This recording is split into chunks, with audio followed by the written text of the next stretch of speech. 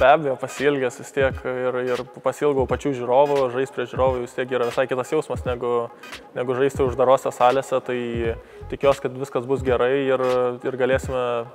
vėl žaisti prie žiūrovų.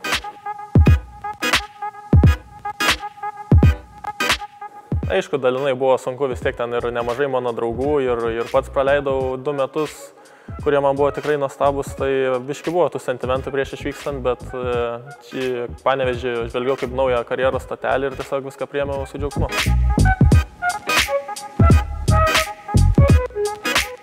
tikrai puikiai vis tiek ir pačių žaidėjų pažinojau, realiai visus išskyrus užsieniečius jau teko žaisti ir, bendrauti su jais, o tren, su treneriu irgi teko nemažai kalbėti telefonu, labai manęs norėjo šitoje komandai ir tai buvo labai svarbi priežastis, kodėl čia pasirinkau ir panevežį.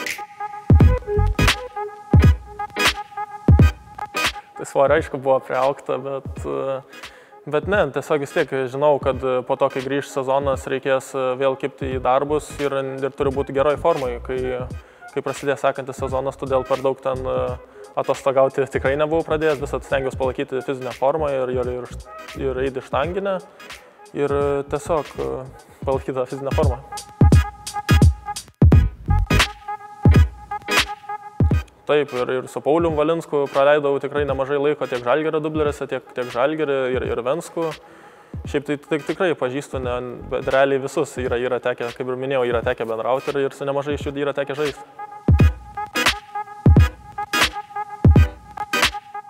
Europos tauriai yra patekti kol kas į kitą etapą, gavom tikrai stiprią grupę, daug kas vadina mirtininku, tačiau į tai žvelgiam tiesiog kaip iššūkį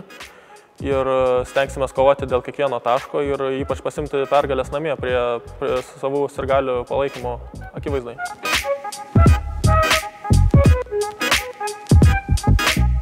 Šiemet LKL bus labai nenuspėjimas, vis tiek ir tautena stipriai pasistiprino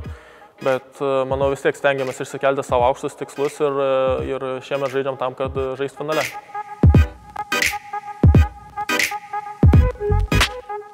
Buvo, aišku, tų galimybių šiek tiek svarščiau, bet kai e,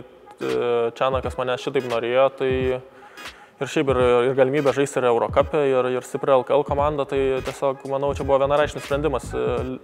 atvažiuoti į Panevežį. Prisijung prie mūsų LKL TV YouTube kanale ir nepamiršk paspausti subscribe.